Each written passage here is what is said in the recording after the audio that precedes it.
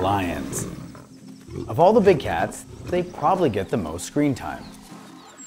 From Narnia to Madagascar, and of course, The Lion King, these cats have long been a fixture of our lives. But what do we know about them, really? Welcome to Big Cats Meow, a series by Love Nature that's all about big cats. I'm your host, Surane, Love Nature's digital producer. Now let's do this thing. Right? Now some of these neat facts might sound suspect, but we assure you they're all true. Straight up, we ain't lying. For example, the lion is widely recognized as the king of the jungle. But did you know they don't even hang out in the jungle? The truth is, they steer clear of dense jungle forest type places and prefer to spend their lives roaming open plains and grasslands. Now they're also commonly referred to as the king of beasts. And yeah, no one's disputing that. Need proof?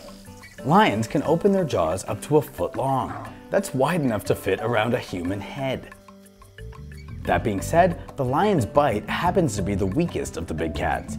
But it's not their teeth you need to watch out for, it's their sharp, protractile claws, which can extend to 3 inches long, about the length of a human finger. and they can cut through flesh like butter. Now lions can run super fast in short bursts, up to 50 miles per hour when motivated. But oddly enough, they can only run in a straight line. They can't really zigzag. They have to consciously reposition their body to change direction. So keep that in mind.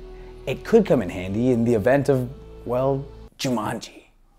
Of all their strengths, it may be their eyesight that's most important.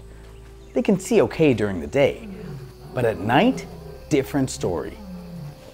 In the dark, their eyesight is eight times stronger than ours, designed to pick up and amplify even the faintest of light sources. A reflective coating on the back of their eyeballs actually helps capture moonlight. Even their external features help them see better, like those white strips just below their eyes, which actually reflect faint light, maximizing the brightness as it enters their eyes. This is a good indicator that they do their best work by night. The lesson here is maybe don't hang out near lions by night, because they'd find you. A century ago, 200,000 lions roamed the open grasslands of the savannah.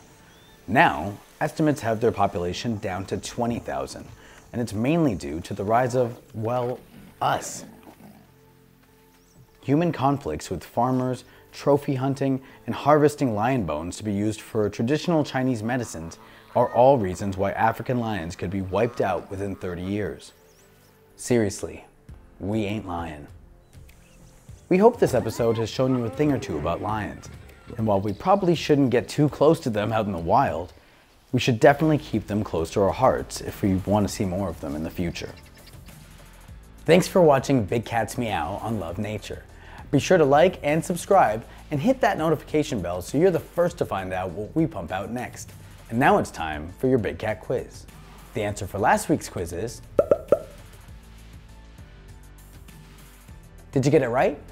How about you try your luck at this week's quiz?